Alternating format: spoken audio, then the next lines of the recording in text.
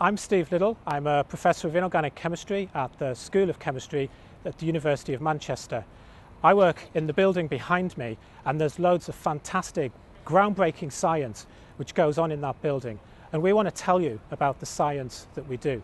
So we've created a YouTube channel and called it Camera Chemistry at Manchester Explains Research Advances and we'll be posting videos on there to show you what we do.